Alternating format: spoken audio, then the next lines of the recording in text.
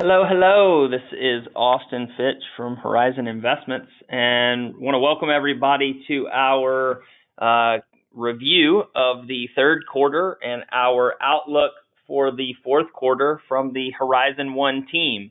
Uh, really looking forward to diving into uh, the content that we have today. Uh, as usual, I've got Scott Ladner, our CIO, here with me and he will uh, help us as we go through a lot of the items that probably are on everybody's minds in regards to the election and uh, the stimulus conversation that, that has come back to the forefront over the last couple days. Uh, we're going to talk on the consumer. Um, obviously, we've uh, we've done that uh, a, a, decent bit over the last couple quarters with all that, that's going on around the world and, and within markets. Um, so we'll we'll make sure to touch on that, uh, and then not surprisingly, uh, we will talk about uh, the virus and, and COVID-19, and uh, you know what we're seeing there, and, and specifically the the impact uh, on the economy and, and, and on the markets. And, and I would caveat really all of those, and, I think everybody knows this that's on the phone. Uh, hopefully, most folks have have been here before. Um, but really, every everything we're, we're talking about today is really going to be in context or in the context of, of the market and, and what's the impact on an investment portfolio. Um, when we're looking at uh, data and, and information here internally, uh, regardless of how you feel about a certain topic, uh, we're more focused on okay, what's the impact to from an investment perspective. So uh, you will absolutely hear us dive into that uh, as we as we go through today. Um, so with that said, um, one thing I will mention uh, before we get too far in, uh, as usual, uh, don't hesitate to ask questions using the question feature there as part of the go-to uh, webinar box uh, on your screen. We will absolutely try to get to those where relevant throughout the deck today. And then if we don't get to them as we're going through it, uh, we will address any remaining questions uh, at the end of the call um, as, as, kind of a, a final Q&A time period. So we'd love to take those questions. Obviously, as, as everybody knows, the more interactive uh, these things are, the better. Um, but with that being said, we'll, we'll dive right in. And uh, I will bring in Mr. Ladner here uh, to really talk to us about what we're seeing from a market expectation perspective uh, around the election. Scott, what are what are we seeing? Maybe talk us through this uh, this chart specifically, but also the impact more broadly on on the markets as we head towards November. Uh, hey, Austin, and, and hello everybody again. Um, so what we're looking at here is uh, are, are, some prediction markets about uh, you know about who's going to win, whether it's the Senate or or the presidency. And so the, the way this is set up is the yellow line is is, uh, is betting markets on the Senate, and so when it's going down, that's Democrats taking the Senate. Uh, and the red and green bars is the presidency. When it's red, it's, it's Biden favored. When it's green, it's Trump favored. And so, you know, I think uh, you know today, uh, you know, this is through uh, September 30th, but but you know, you can um, just just know that these things really haven't changed. Uh, and so, you know, the base case today is should probably be a, a, blue wave kind of scenario where the Democrats take both the Senate and uh, you know and the presidency. Um, that that comes with uh, this the obvious uh, caveats that this is kind of how it looked uh, right before the election 2016 as well. And so, you know, but while we shouldn't make the mistake of just saying since it looked this way last time and it turned out that Trump won, uh, we should just assume that's going to happen again. Uh, that's sort of a silly thing to do. Um, but we also shouldn't take these things at completely face value and just say it's a guaranteed outcome. Uh, so, you know, right now the base case probably needs probably does need to be that, that Democrats take both the presidency and the Senate. Although the Senate is a much closer call right now than than the uh, than it looks like the White House is. Uh, in terms of market implications, um, you know there are the the, the the whisper number going around right now. Uh, should that blue wave take place, uh, is a five trillion dollar plus stimulus package. So if you're wondering why the markets have been up over the last few days, um, that is that is a not a small part of the reason uh, because the, because people are kind of talking themselves into the idea that uh, with a with a Democratic kind of blue wave scenario in, in, in the out in the in the election, that we're going to get an, a kind of an astoundingly large uh, fiscal stimulus package, um, and that would definitely be good for markets and good for growth for the short term. Um, uh, clearly, the tax and regulatory policy of such an administration uh, would be more challenging uh, over the medium term, but uh, but the market is trading on a very short term basis right now. um, and we, and that that does appear to be uh, very consistent with market internals in terms of what's what's moving and what's not. Um, that you know that that that massive stimulus program, given a blue wave scenario, uh, is what is being priced into markets as we speak. Scott, and I think that probably goes to we've seen some other research shops uh, on, the street put out a number of different reports saying that, uh, like you said, a, a, blue wave maybe isn't nearly as bad as, as maybe it was once perceived or, or believed. Would would that be consistent with with what we're seeing there from a research standpoint? Well, yeah, I mean, you know, there there are there are some pretty high profile research pieces and, and, and firms out there kind of kind of banging the drum that that a, a Biden win and a, and a blue and a, and a, a Democratic Senate uh, would be a good thing for risk assets. Uh, it would be and and so you know, I think that that's that's probably not a not a horrible case to make uh, if, they do look at something like a five trillion dollar stimulus package. I mean, you know, you just don't fight against that kind of cash. You know, if you're in markets, um, but but it, but it would be. I mean, look, there's just there's just no there's absolutely no denying the fact that uh, massively increased regulatory burdens and and massively increased taxes would be headwinds. Um, and so you know you you'd, you'd end up with a fighting match between the short-term growth impulse that's that's associated with with a, with a gigantic fiscal stimulus package associated you know like against the uh, you know against against the backdrop of, of you know much higher much higher regulatory and, and, and tax burdens. So it's it's, uh, it's anybody's guess as to, as to who would win that. But you know our, our our take right now is that you probably do get a, if you probably do get a bump based on the stimulus sort of um, uh, you know based on the stimulus kind of kind of idea. Uh, but we think that probably be fairly short-lived. Um, but it, it, it's really going to depend a lot on the makeup of the Senate. I mean, if you're talking 50 or 51 uh, seats, that's a very different outcome than if you're talking 52 or 53 seats. So it's there's still quite a lot, quite a lot, quite a lot up in the air right now. No, absolutely makes sense. And and Scott, I, I know we've talked about how maybe there's some some disagreement, um, just generally in regards to the the outcome uh, and the impact on the markets. I think the one thing that we have seen in terms of general consensus is that we should come to expect some some delays this year. So I, I think the conversation we've been having is maybe in 2020 you don't have election day, maybe you have election week, or uh, maybe even election month. Uh, right, the the chart on the left for for folks that are um, that are looking at, at these two charts, the the chart on the left basically is a survey that that YouGov put out and it says, you know, by when will the election actually be decided? Um, and what you see is over three fourths of, of folks that, that responded to this survey don't believe that we'll know who the president is when we all go to bed on, on November the 3rd. Um, now, I, I think if you make the case that, that we do, maybe that's a, a positive surprise just from a certainty standpoint. Uh, but you do have on the right hand side there the, that timeline for in the case of a contested election or, or there are delays, you know, what's the timeline that we're looking at? Scott, is there any specific date or, or timeline item that, that we should be paying attention to in your mind? Uh, yeah, I mean, it really is. It, it, it probably does hinge on that first week or so. So it's, you know, the, the next slide, we can see that there we have the way the market is pricing these things out right now. We can we can actually look at something like like VIX futures options and VIX futures contracts and figure out kind of where the where the bump and volatility is, where the hump is. Uh, where is the market expecting this thing to sort of be resolved?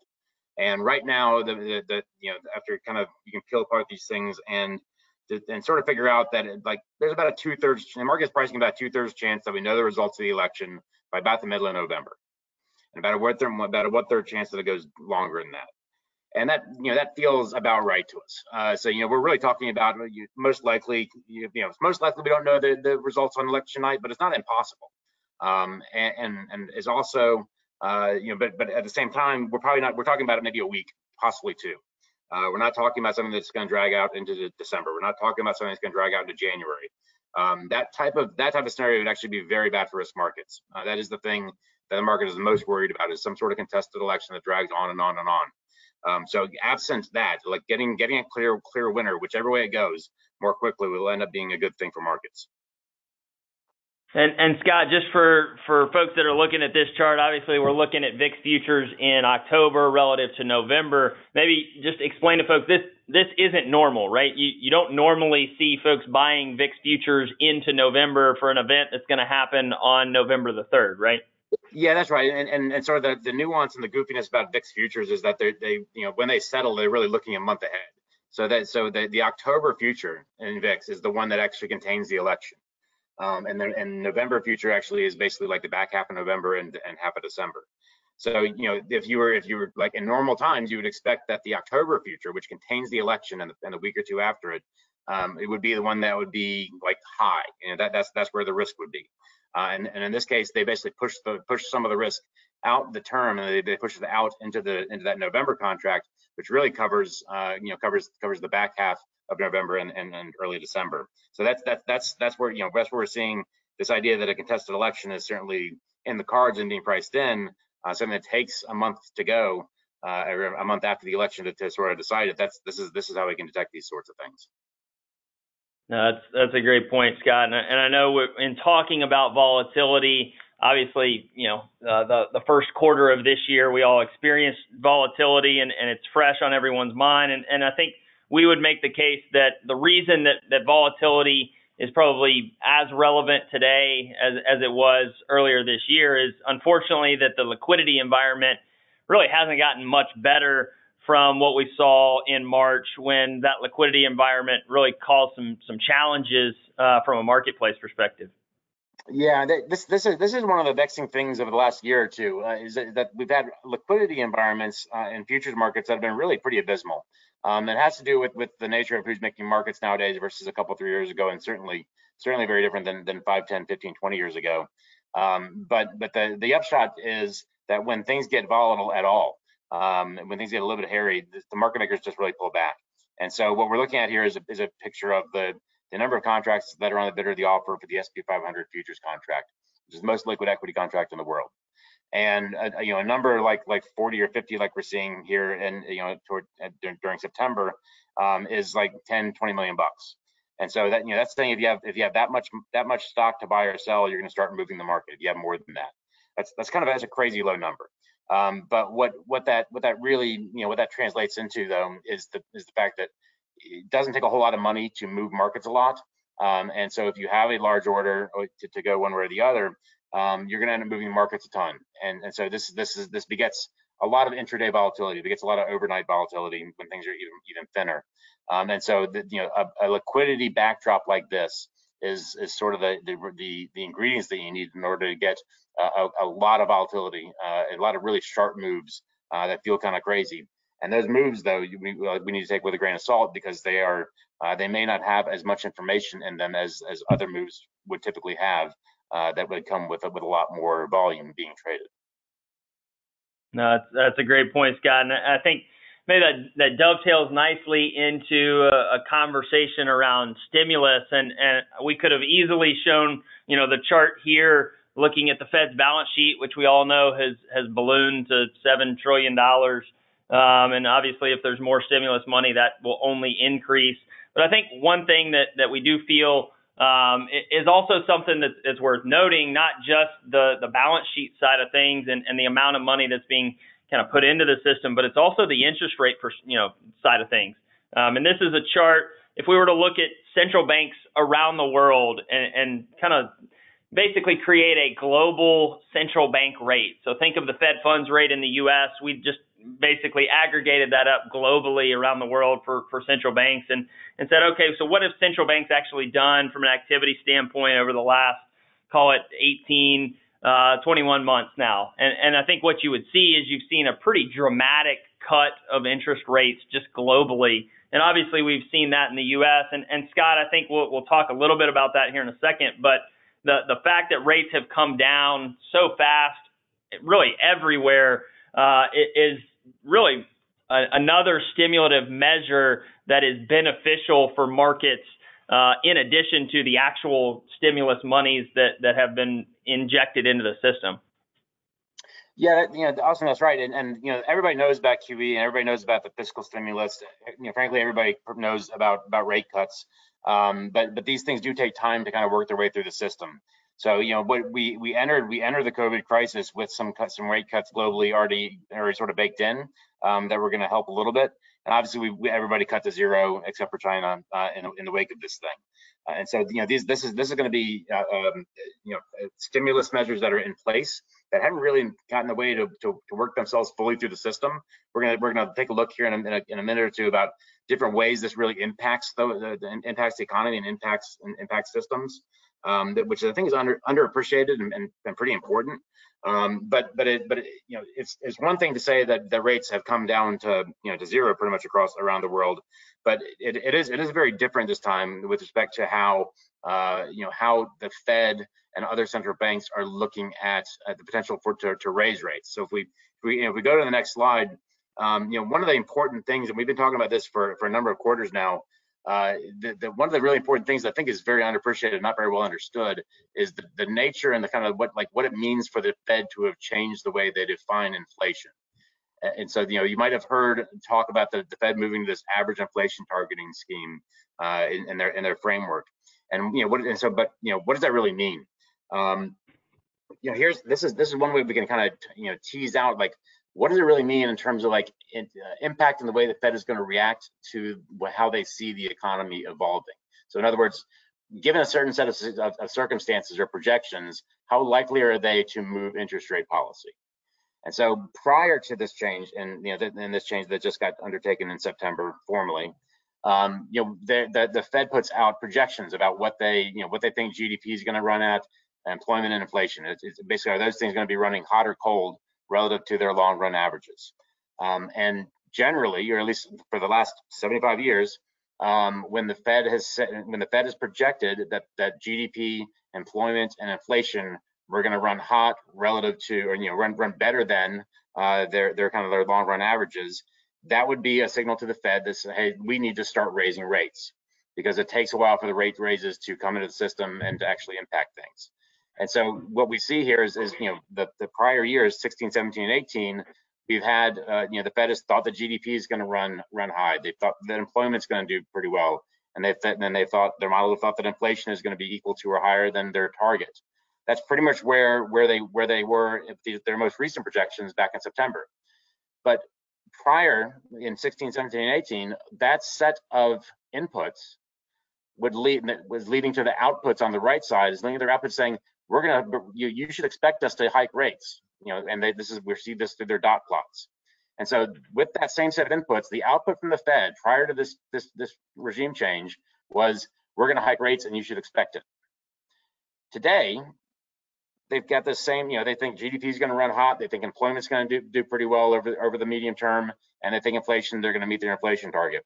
And they're telling you, don't expect any rate hikes. It's a very different reaction to, to, the, to the same set of inputs um, today than, than, they, than they've had in the past.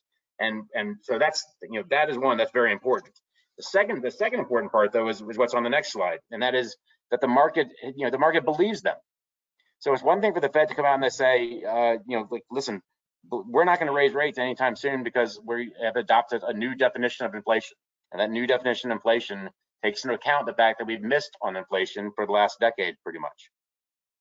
But that's not the way they that's not the way they've, they've acted in the past and so they had to actually convince the market that that you know guys we really mean business here and we're not going to hike rates anytime soon and this chart right here is the best way we can depict that the market is buying what they're selling so if you remember back after the great financial crisis, the last time the Fed took rates to zero, um, the, the blue line depicts uh, what the market expected the Fed to do over the over the next you know three months, 12 months, two years, three years, four years, five years, and so on.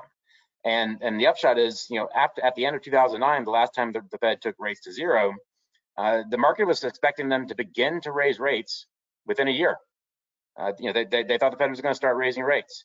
Um, and so if you remember, you know, if you were managing money back then, or if you had clients back then, you probably remember all the talk about uh, managing for a rising rate environment. Like that was all the talk on the fixed income world. Like, how are you going to manage a rising rate environment? Well, that's because the market, you know, you can see very clearly here, the market expected there to be a rising rate environment. They, they expected the Fed to start hiking pretty quickly. Um, it didn't happen for a number of years, but but the, the market was pricing in hikes, you know, pretty pretty quickly after they went to zero.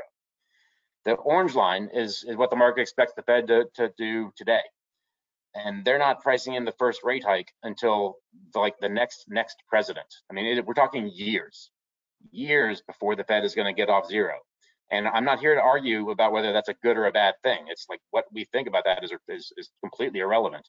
But what what it, what matters is what the Fed's going to do and, and, how the market is going to react to that. And the and the market right now is believing the Fed in, in, in that they're you know they're not going to raise rates for a long time, um, and that is going to have like very large implications for asset prices, for you know for, and, and for other things like like corporate credit and mortgages and things like that that we're going to talk about here in a minute. But this is a really important chart, and and the change in the Fed reaction function and the way that the change in the way the Fed defines inflation is a really you know possibly the most important thing that's come out of this uh, you know, out, of this pandemic um, for the you know for asset prices at least over the next three to five years.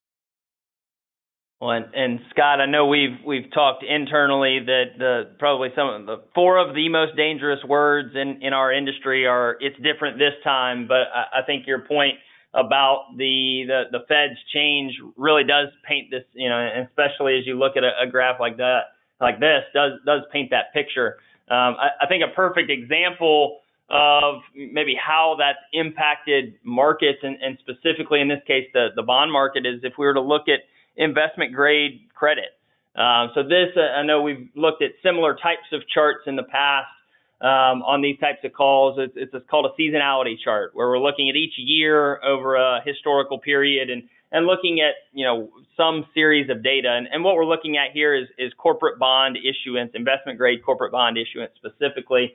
And and obviously we're looking at about 10 years worth of data we could have gone much, you know, we could have gone 20, 30 years further back. It, it would have told a similar picture uh, or just similar story in that really there's there's kind of this historical norm in terms of credit issuance throughout a given year. It's pretty steady. Uh, you can see in certain years maybe that slope is a little bit less than other years.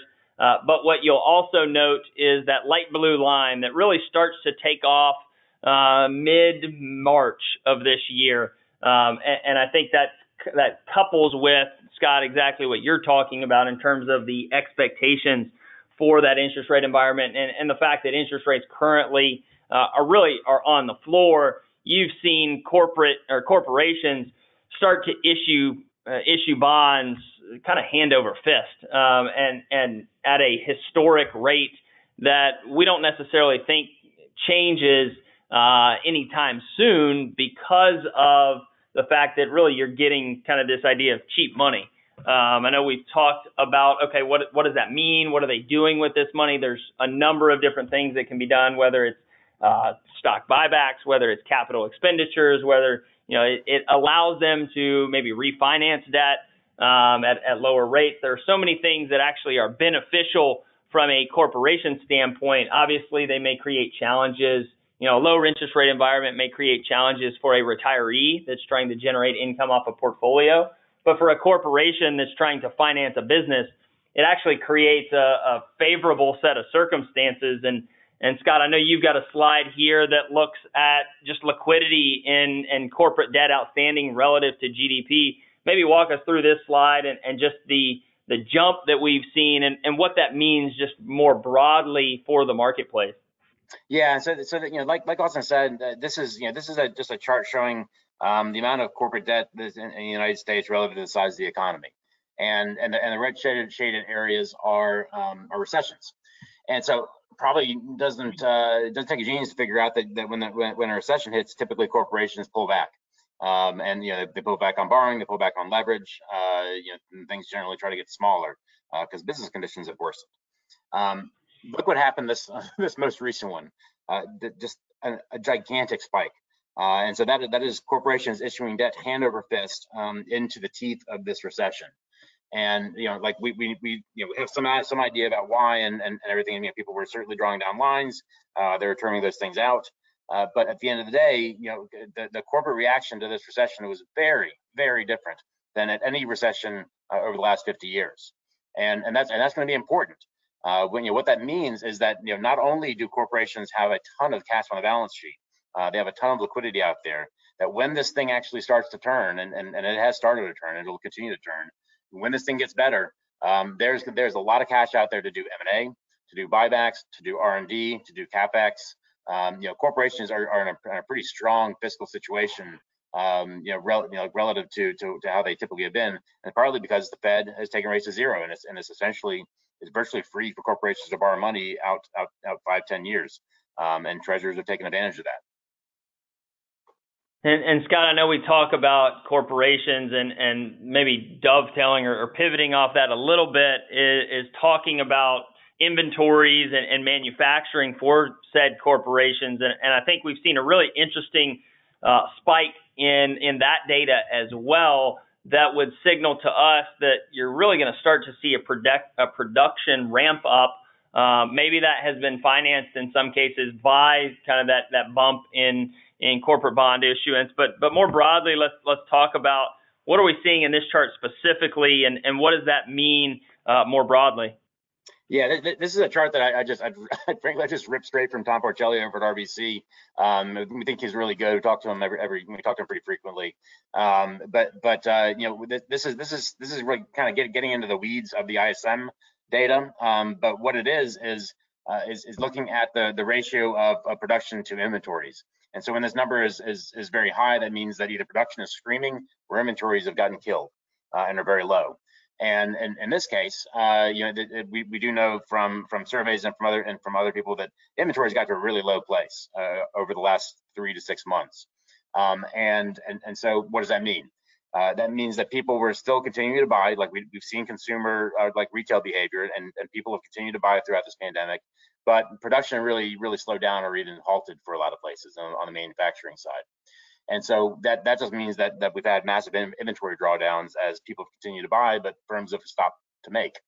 Um, and, and and so that the the upshot for that though is that on when the, when this when this ratio gets around this level, historically at least, it typically means that you're getting out of the you either are out of or getting out of the recession. Like it's about over, because what's coming uh, as a result of this inventory drawdown is is, is a huge inventory restock and so uh, manufacturing activity in the United States over the next three to six months is going to be going at a breakneck pace to try to rebuild inventories and, and get back on, you know, kind of get back to normal.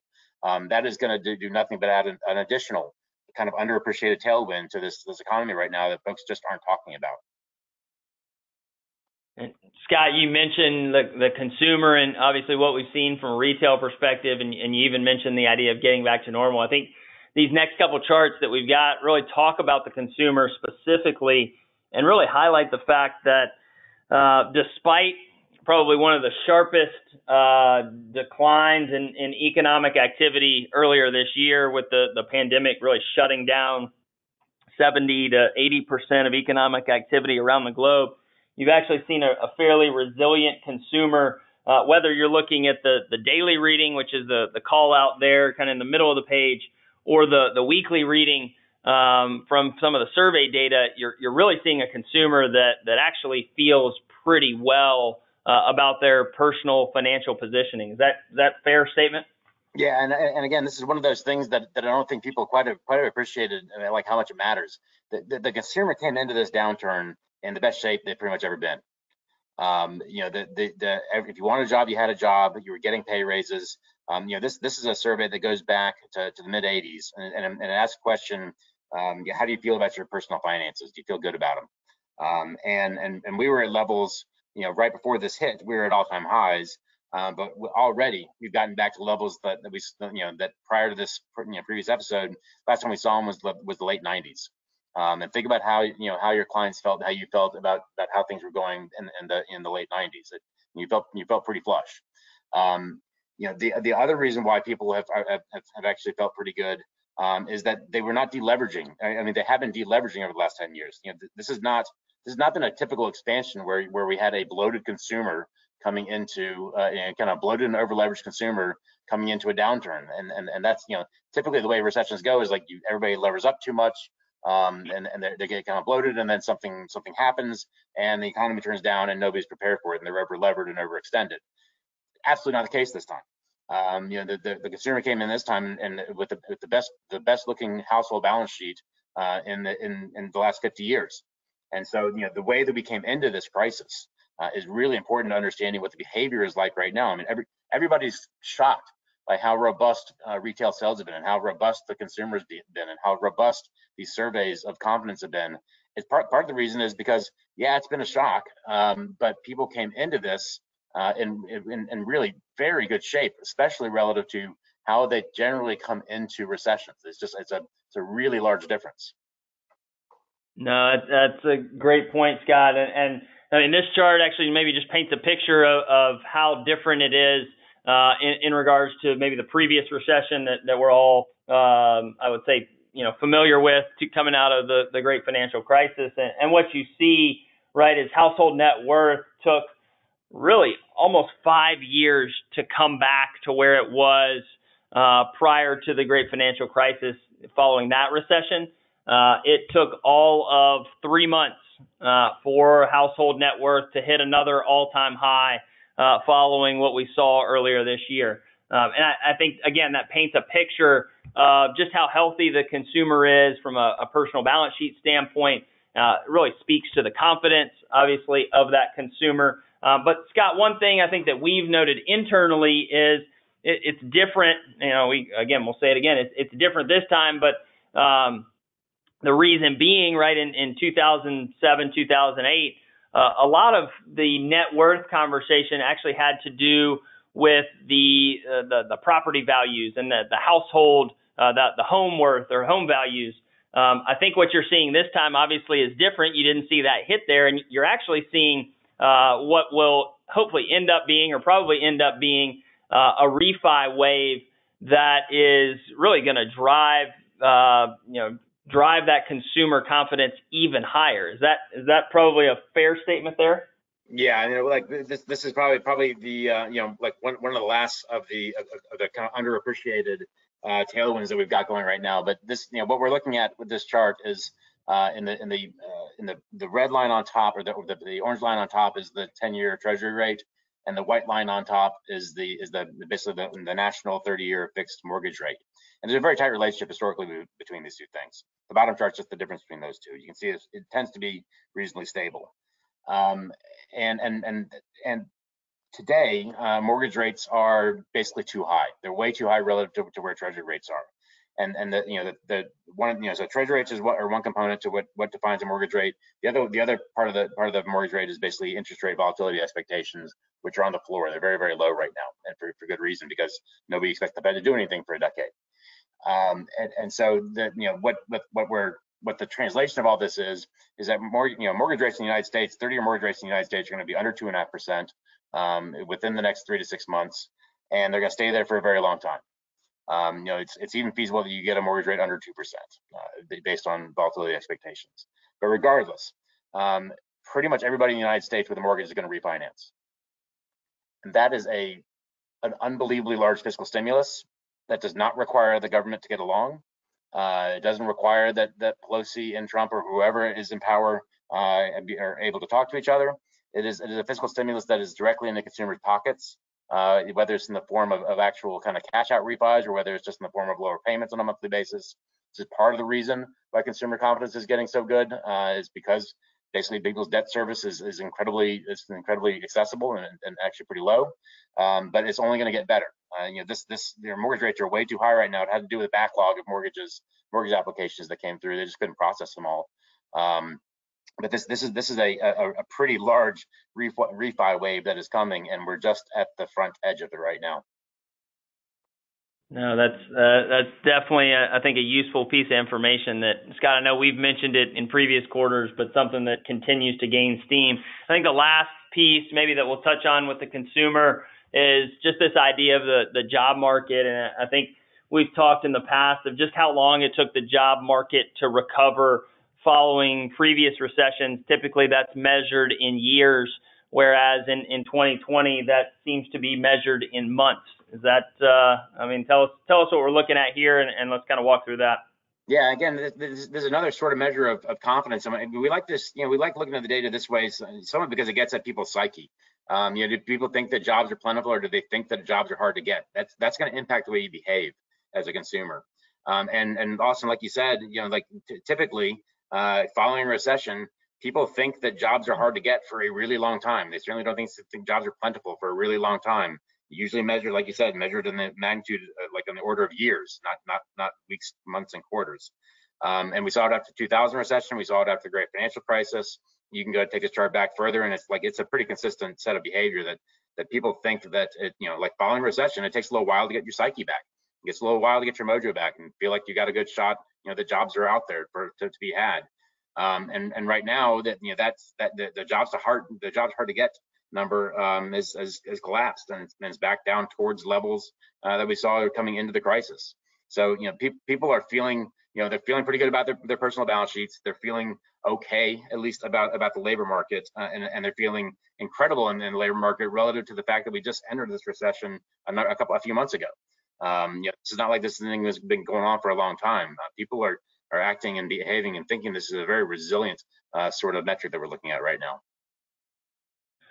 So Scott, we've talked a lot about kind of the, the confidence of the consumer. I think the one thing I know that we've talked to a number of advisors about in, terms of confidence is, maybe this idea of maybe overconfidence in, in regards to kind of this this this tech trade that that appears to be or seems to be on in the marketplace. And I think uh, this slide right here comes from Bank of America Merrill Lynch. It's their global fund manager survey. They put out every month what they call the most crowded trade, and, and obviously the uh, U.S. tech uh, trade is is the most crowded trade and and has been for quite some time. And, and historically, you can look at it, and it's it's really pushing the the bounds in terms of you know how crowded uh, a crowded trade can be. Um, Scott, anything you would say to this slide? I know we've got a, a following slide that maybe says why that's the way it is. But anything else that, that you would add from a context perspective?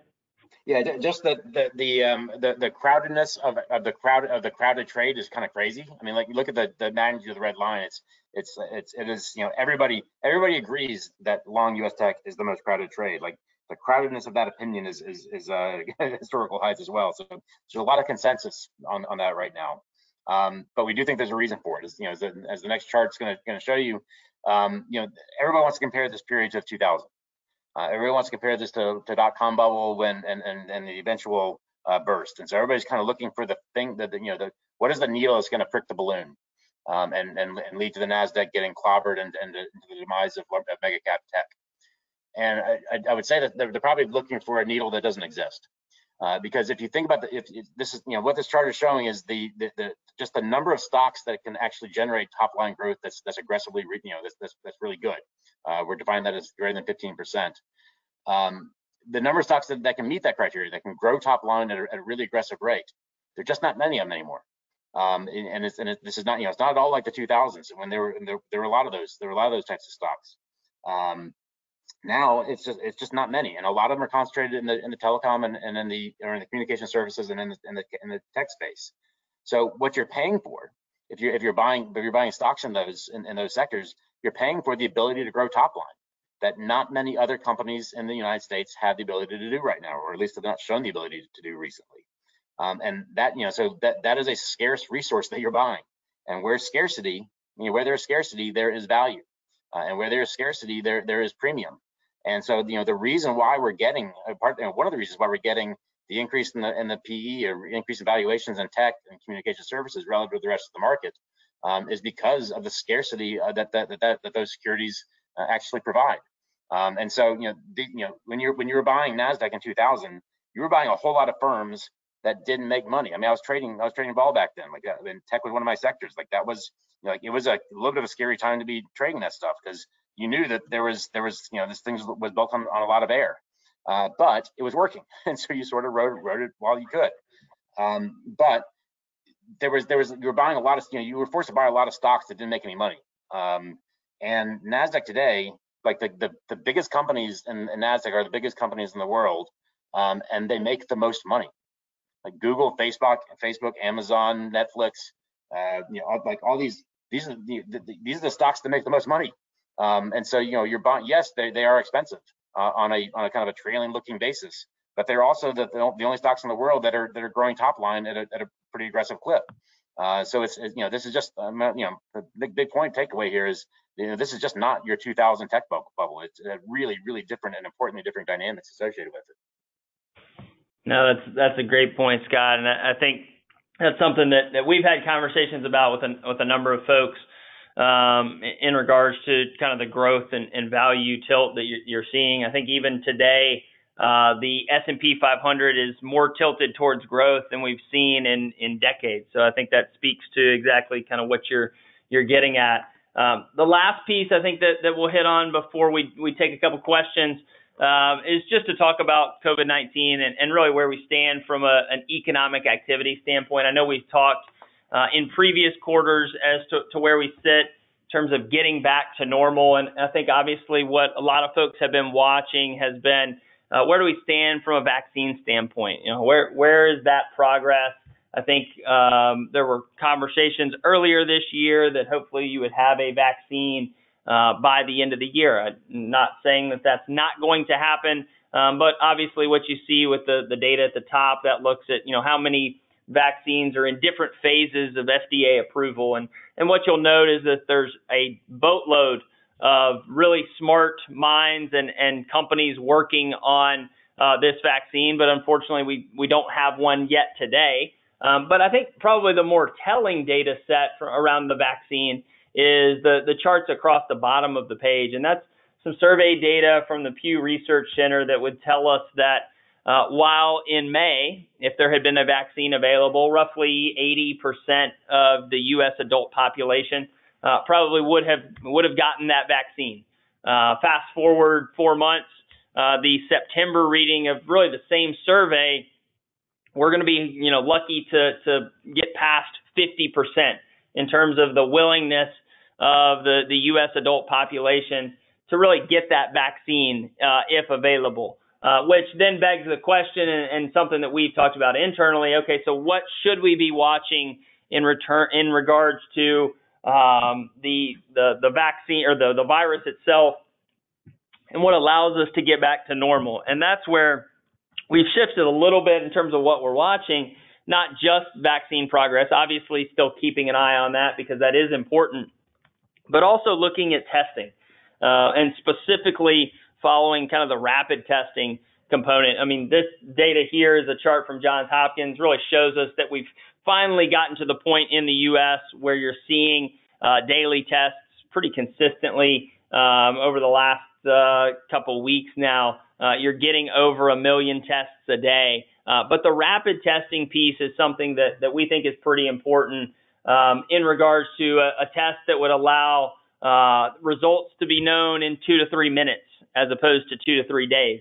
Um, and again, something that we feel, and, and we, I know Scott, we talked about this, I think last quarter, maybe even the quarter before, this idea of, of plateauing economic activity. Uh, we were plateauing at 75 to 80 percent of, of pre-COVID levels from an economic activity standpoint. And I think we would make the case that that the testing component is pretty critical uh, to allow us to kind of get over that hump to get maybe back to those pre-COVID levels uh, from an economic activity standpoint. Is that uh, is, would you agree with that?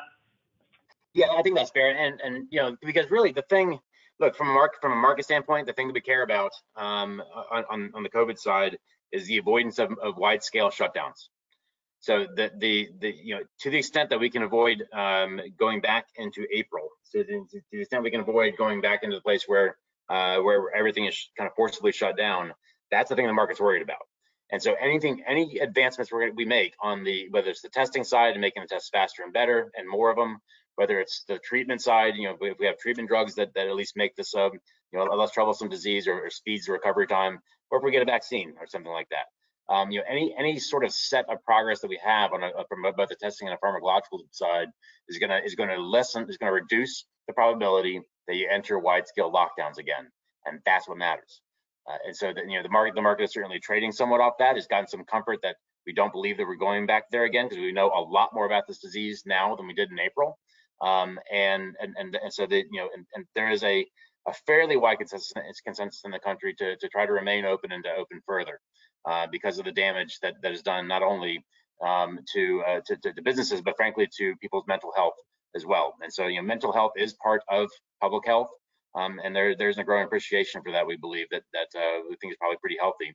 But but the testing, the testing procedures, and the, and the treatment advancements that we've that have been made, and that will be continue to be made over the over the coming months, uh, are going to be really key in, in, in avoiding that shutdown scenario again.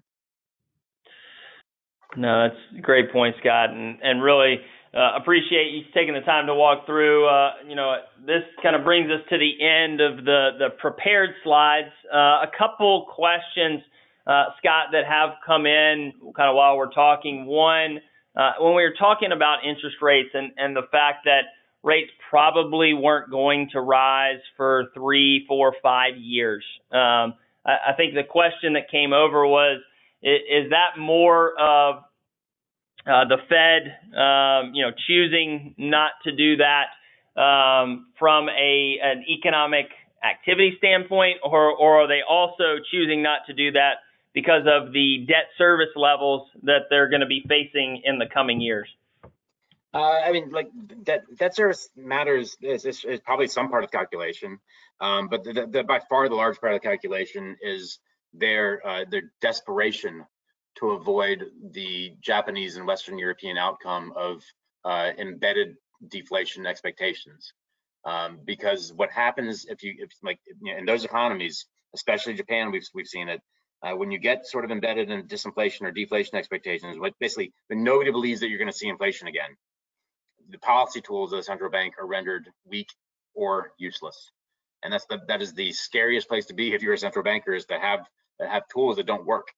Um, and and so the, you know, the Fed has seen what what can happen if you get deflation expectations built in, um, and and and you know in their back pocket they believe they know exactly how to crush inflation if they were to get it. So they're not really too worried about runaway inflation because they've got the tools. They believe they have the tools to to, to deal with that. But they don't have the tools to deal with, or that no central bank in, in developed world has ever figured out the tool to deal with is is how to fight deflation, uh, how to fight disinflation. And so they are going to do like literally anything, including $3 trillion of liquidity in three months, like we just saw. They're going to do anything they can do uh, to get uh, to, to avoid that, that that outcome, the Japanese and Western European outcome of, of sort of um, the expectations of deflation coming into the system.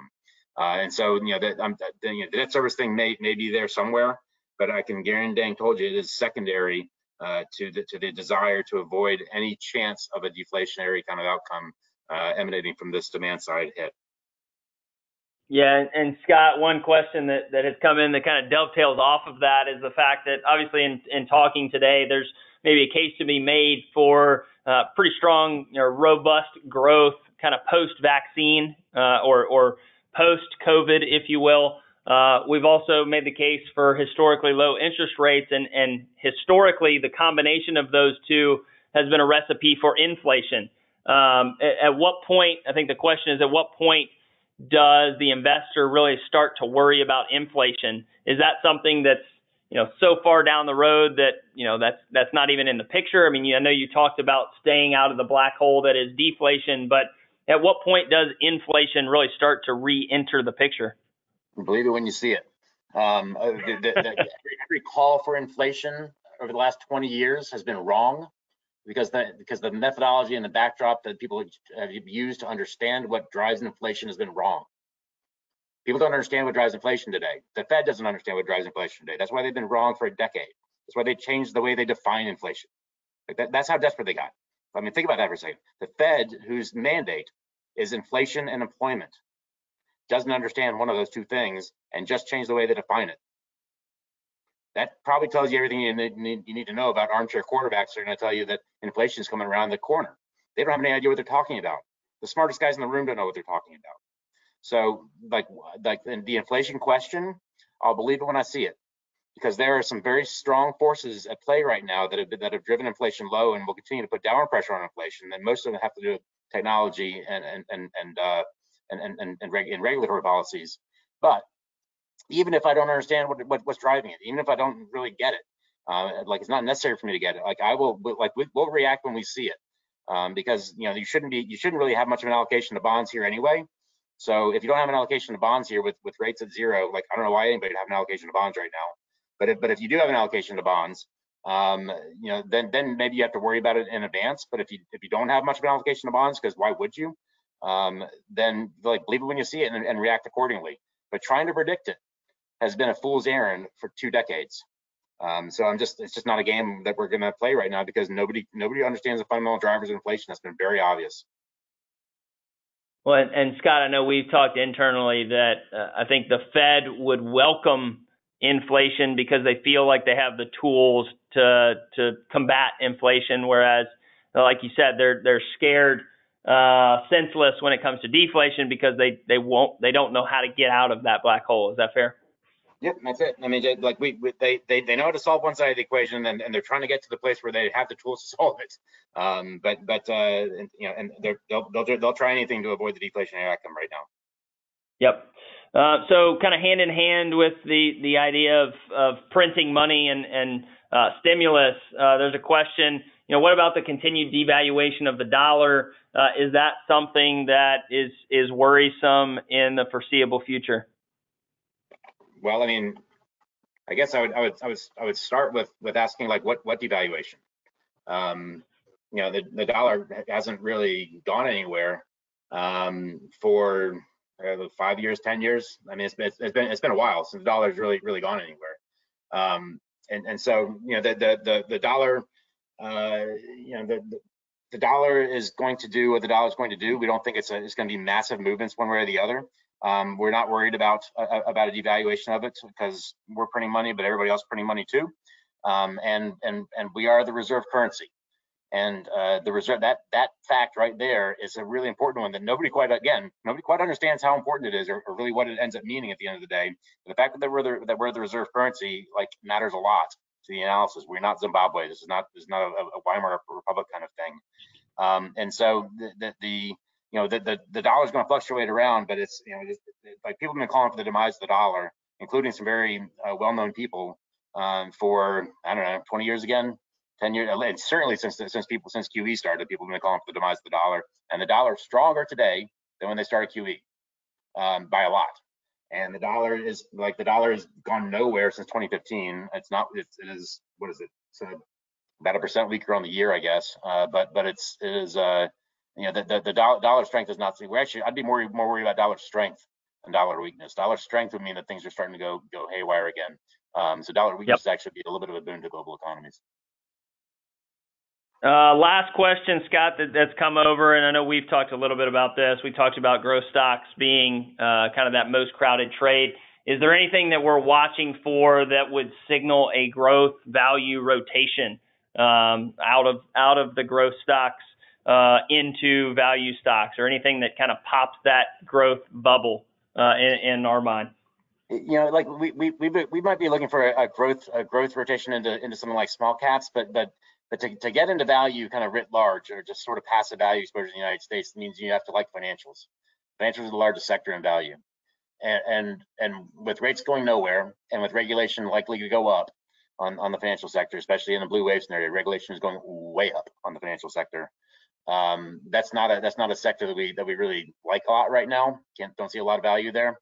Um, and so that, you know we, we we could see a little bit more uh, you know more of a case for rotating into into small caps um, to, to benefit from fiscal expansion and, and benefit from a from a, a, sharper than expected turnaround in the economy.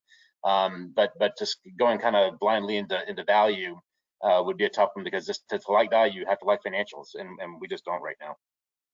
Yep. No, Scott, really appreciate the time and, and appreciate everybody sticking with us uh, today. Obviously, we've covered a lot of material. Uh, hopefully, it's been helpful. One last thing I will leave you with for for folks on today's call, um, just kind of I would say a, an appetizer, a, a, teaser of sorts. Uh, kind of what's coming next, and this is something that I, I would say some of you, and, and, actually many of you, have probably seen uh, maybe early versions of some of our new tech tools uh, this is something that is rolling out uh, as we speak. So this quarter, uh, you will get access. Uh, hopefully, within the next couple of weeks, you will get access to the the new tech tools that are available for all of our Horizon One clients.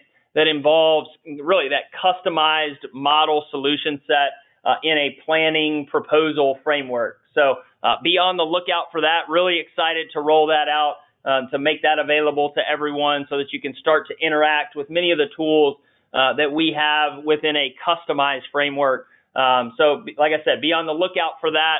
Uh, that will probably be introduced um, sometime in the in the next couple weeks, either as part of a quarterly meeting or as a standalone uh, call for sure. Um, so watch for that.